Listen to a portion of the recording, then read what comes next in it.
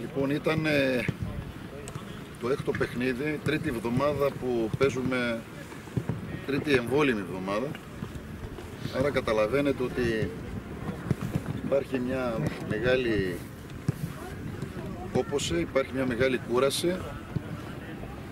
Ε, θα έλεγα ότι μέσα σε όλα αυτά και θεωρώ ότι ισχύει για πάρα πολλές ομάδες.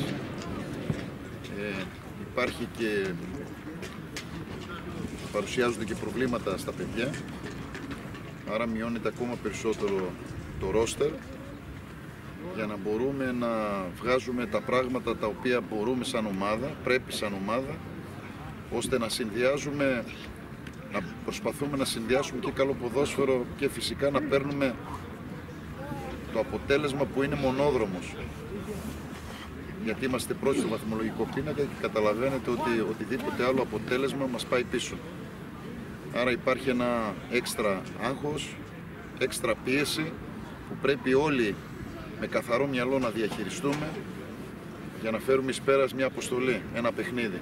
Είχαμε αντιμετωπίσουμε μια πάρα πολύ καλή ομάδα, μια ομάδα η οποία προερχόταν από ένα θετικό και μεγάλο αποτέλεσμα απέναντι στην Ξάνθη. Μια ομάδα η οποία έχει, έχει κάνει αλλαγή προπονητή. Ο Τίμος ο Καβακάς είναι ένας πάρα πολύ καλός προπονητής, ο οποίος θεωρώ ότι ξέρει τι θέλει και τι ζητάει στον αγωνιστικό χώρο. Αλλά ο στόχος μας ήταν να μπορέσουμε ε, να κερδίσουμε αυτό το παιχνίδι. Ε, το παιχνίδι δεν ήταν εύκολο. Ο αγωνιστικός χώρος δεν ήταν αυτός που πρέπει για να μπορέσουν και οι δύο ομάδες ε, να παίξουν καλό ποδόσφαιρο.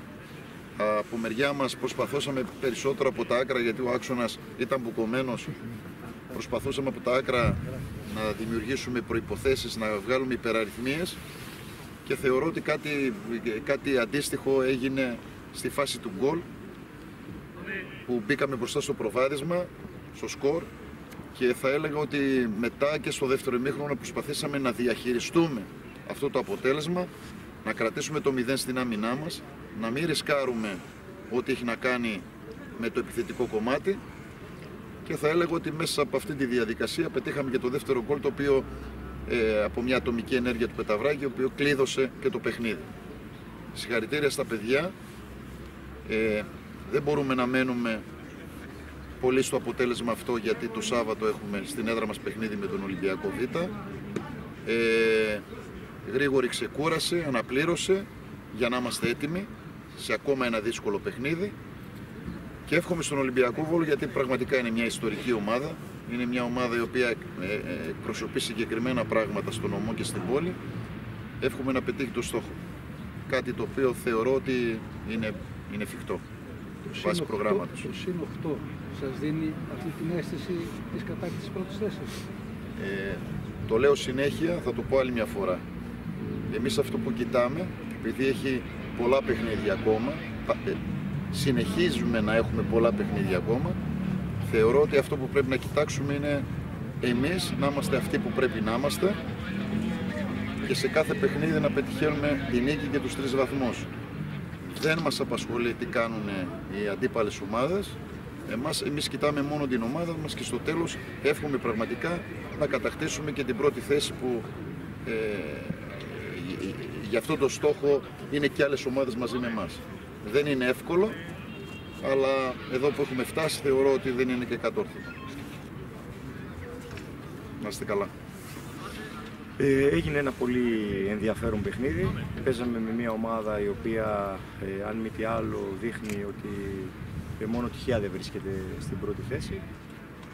Ε, θα μιλήσω για τη δική μου την ομάδα. Νομίζω ότι ε, και η εικόνα μας, αλλά και το δεύτερο συνεχόμενο παιχνίδι, αλλά και τα προβλήματα τα οποία είχαμε και δημιουργήθηκαν και πριν το παιχνίδι με την απουσία, την αναγκαστική απουσία του Ξηγά λόγω ότι ήταν άρρωστος, ε, μεγάλωσαν τη δυσκολία.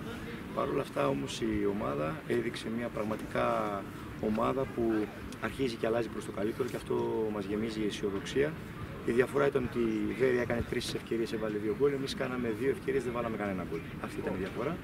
Χάσαμε ένα παιχνίδι, προχωράμε στο επόμενο. Εγώ θέλω να δώσω συγχαρητήρια τα παιδιά για την προσπάθεια την οποία κάνανε. Για εμάς ε, έτσι κι αλλιώς ε, τα παιχνίδια όλα τα κοιτάζουμε με το ίδιο γεμάτη, δεν έχουμε το δικαίωμα να ξεχωρίζουμε παιχνίδια. Ε, θα πάμε την Κυριακή, πρόκειται για ένα δύσκολο παιχνίδι. Θα πάμε να προετοιμαστούμε όσο καλύτερα γίνεται για να το κερδίσουμε. Κάνατε μια διαχείριση στο δεύτερο εμίχρονο με κάποιους παίχτε.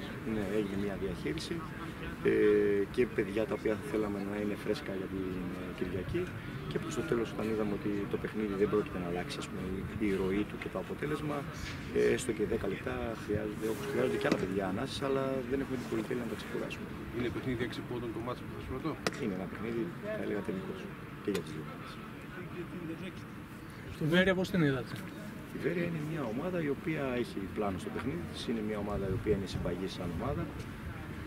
Ε, δέχεται δύσκολα γκολ.